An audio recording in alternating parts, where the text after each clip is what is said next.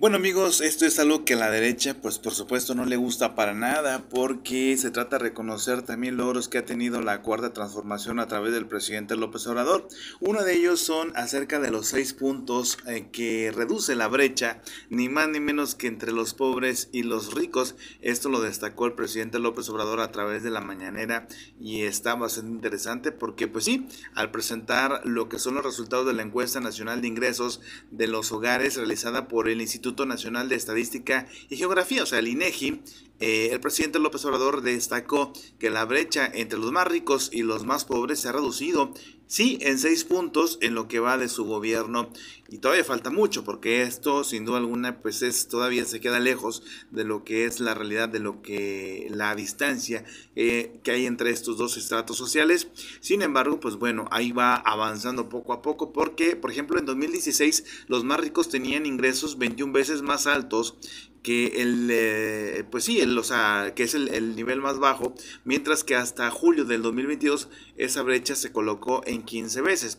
Fíjense ustedes que en la mañanera de esta semana, bueno, pues el mandatario federal destacó que esta encuesta realizada cada dos años y que en el más reciente de julio del 2022 los resultados mostraron que eh, nuestra política de bienestar funciona, fue lo que dijo López Obrador. López Obrador señaló que el estudio muestra los ingresos trimestrales de la población y con base en las eh, conclusiones del estudio del INEGI, el eh, presidente eh, pues presentó 12 puntos que evidencian a un aumento en el bienestar de las personas, en particular de los más vulnerables. El ingreso laboral para 10% eh, de los hogares más pobres, dijo, pues se incrementó, se incrementó en promedio 29% del 2018 al 2022 en términos reales, el tiempo que llevamos hasta julio del 2022.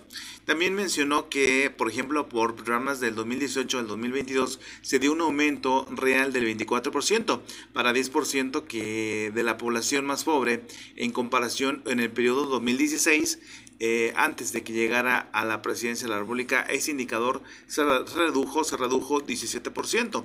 ¿Y qué más mencionó el presidente? Bueno, él dijo, es decir, la inversión a los pobres mientras 2016 a 2018 se redujo 17%. Nosotros lo aumentamos desde 2018. Se decían los gobiernos del, del PRIAN, del PRD, eh, más que nada del PRIAN, bueno, lo que es eh, Peña Nieto, el PAN, el PRD nunca ha estado en el gobierno, pero bueno, el PRIAN, mejor dicho, eh, en, lo aumentamos de 2018 a 2022 en 24%. En términos reales fue lo que dijo el mandatario mexicano.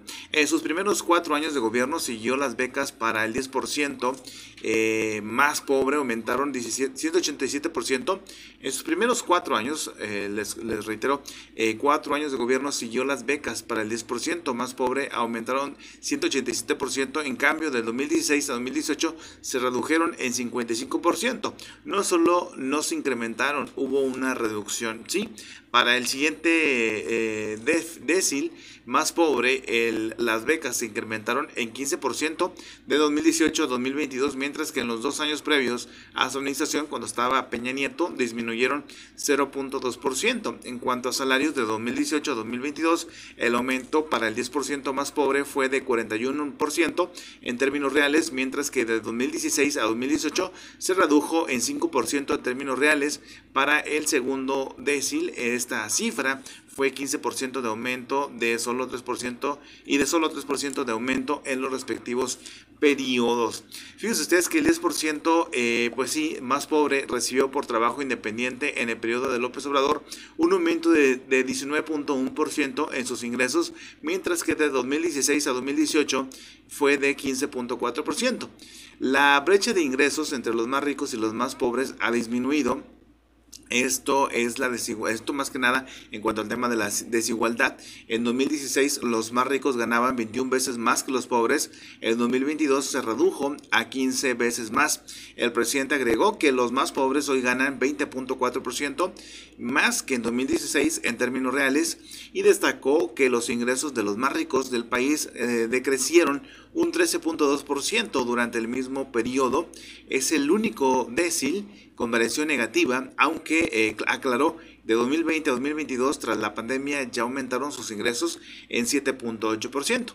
También hay que destacar que por concepto de aguinaldos y reparto de utilidades el incremento para 10% de la población más pobre fue de 16% entre 2018 y 2022, mientras que en el periodo previo decreció en un 1.9%. Eh, López Obrador resaltó que por programas del bienestar que se permitió que el del 2018, que del año 2018 al 2022, los adultos mayores incrementaron su ingreso promedio trimestral por persona de 20.322 pesos a 23.738 pesos. Todavía es eh, muy poco, pero bueno, de todas maneras es, un eh, avance que se está teniendo, digo muy poco porque en comparación de cómo se había eh, dejado también de administraciones anteriores. Eh, hay que todavía eh, seguir avanzando, pero bueno, entre la población indígena o que habla alguna lengua indígena de 2018-2022 y no son Gil Galvez, porque esa no lo necesita, obviamente, ¿verdad? Esa sí tiene, vaya que sí tiene bastantes ingresos por aquí y por allá. Pero bueno, entre la población indígena o que habla alguna lengua indígena de 2018-2022 pasó de un ingreso trimestral por persona de 16.905 pesos a 18.428 pesos es decir, 9% más en términos reales, mientras en el campo los más pobres aumentaron su ingreso 20%, algunos de los resultados que concluyó el mandatario en la mañanera. Así las cosas en ese tema se reduce un poco más eh, lo que son los márgenes entre la, desigualdad eh, que tiene que ver con las, los más ricos y los más pobres. Reduce este, este porcentaje ¿no? que hay básicamente de entre los que más tienen y los que pues, lamentablemente eh, tienen una situación más difícil para sobrevivir en el México de hoy en día. Bien, pues así las cosas.